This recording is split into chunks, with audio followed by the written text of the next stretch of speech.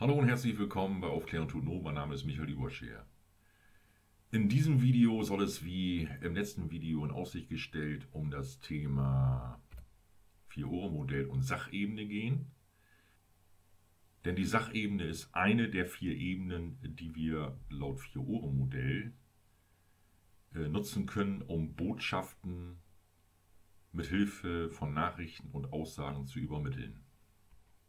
Bevor ich auf das eigentliche Thema dieses Videos zu sprechen komme, möchte ich noch zwei kurze Hinweise loswerden. Zum einen ist auch dieses Video Teil einer Videoreihe, ähm, in der die einzelnen Videos aufeinander aufbauen. Insofern ist es ratsam, sich auch die beiden Videos, die ich schon veröffentlicht habe, anzuschauen. Ich verlinke die beiden dort oben. Und zum anderen möchte ich euch bitten, äh, meinen Kanal zu abonnieren und möglichst auch die Glocke zu aktivieren. Ja, wie gesagt, das Thema dieses Videos ist die Sachebene und äh, wenn wir eine Botschaft auf der Sachebene übermitteln wollen, dann spielen dabei äh, grundsätzlich drei Kriterien eine Rolle. Und zwar ist bei Botschaften auf der Sachebene relevant, ob diese wahr oder unwahr sind, das heißt, ob sie zutreffen oder nicht zutreffen. Zweitens geht es um die Frage, ob eine Botschaft auf der Sachebene relevant oder irrelevant ist. Man muss sich halt grundsätzlich mit der Frage beschäftigen, ob eine Botschaft für das anstehende Thema vom Belang oder nicht vom Belang ist. Und drittens geht es um die Frage oder auch um die Entscheidung, ob eine Botschaft hinlänglich oder unzureichend ist. Also sind die angeführten Sachhinweise für das Thema ausreichend oder muss vieles anderes zusätzlich bedacht werden.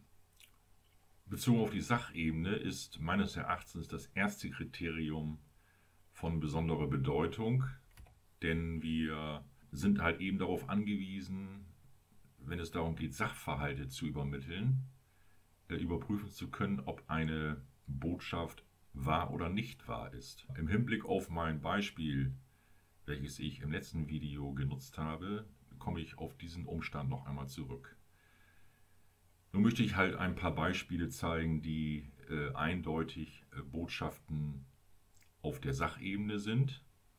Botschaften auf der Sachebene zu formulieren, ist besonders dann relativ einfach, wenn wir mit Fragen konfrontiert werden, mit denen unser Gegenüber eine Sachinformation einholen möchte. Wir können also zum Beispiel die Frage stellen, welche Farbe hat das Auto? Und unser Gegenüber kann antworten, das Auto ist grün. Eine solche Aussage ist eine Botschaft auf der Sachebene, weil wir überprüfen können, ob das jeweilige Auto tatsächlich grün ist oder eben eine andere Farbe hat, zum Beispiel rot ist oder blau. Bezogen auf dieses Auto ist die Botschaft also richtig. Wir können auch folgende Fragen stellen. Wie spät ist es? Oder welche Farbe hat der Wecker? Mögliche Antworten können folgendermaßen aussehen. Es ist 5 vor 12 und der Wecker ist rot. Bezogen auf diesen Wecker sind die beiden Botschaften auf der Sachebene also wahr. Der Wecker ist in der Tat rot und es ist 5 vor 12.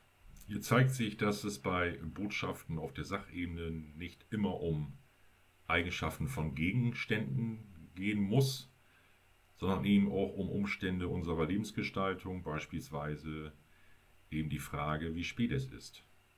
Wir können unseren Partner oder unsere Partnerin auch fragen, wann ist dein Termin beim Zahnarzt?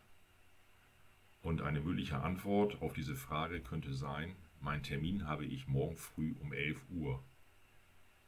Hier geht es also nicht um, einen, um eine Eigenschaft eines Gegenstandes, sondern eben tatsächlich um unsere Lebensgestaltung, um einen Umstand innerhalb unseres Alltags. Hier eben um einen Termin und auch hier mit dieser Antwort, mein Termin habe ich morgen früh um 11 Uhr, senden wir eine qualifizierte Botschaft auf der Sachebene. Nun komme ich noch einmal zurück auf mein Beispiel aus meinem letzten Video und im Besonderen komme ich zurück auf die Teilaussage, boah, heute war ein anstrengender Tag. Ich habe im letzten Video gesagt, dass es sich hierbei nicht um eine qualifizierte Botschaft auf der Sachebene handelt. Und es liegt daran, dass wir nicht überprüfen können, ob der Tag tatsächlich anstrengend war. Dies mag für den Ehemann im Beispiel tatsächlich so gewesen sein. Äh, es kann gleichzeitig eben sein, dass der Tag für die Ehefrau nicht anstrengend war. Also handelt es sich bei dieser Teilnachricht auch nicht um eine Botschaft auf der Sachebene. Ich hoffe, es ist nun relativ deutlich geworden, wie Botschaften auf der Sachebene aussehen müssen. Also sie müssen definitiv überprüfbar sein. Es darf also keine, kein Anlass zur Diskussion geben. Entweder eine Aussage, eine Botschaft ist wahr oder sie ist nicht wahr. Dann kann es sich tatsächlich um eine Nachricht auf der Sachebene handeln. Wenn dir mein Video gefallen hat, freue ich mich über einen Daumen hoch und selbstverständlich freue ich mich auch, wenn du tatsächlich meinen äh, Kanal abonnierst. Dann sehen wir uns hoffentlich im nächsten Video. Bis dahin.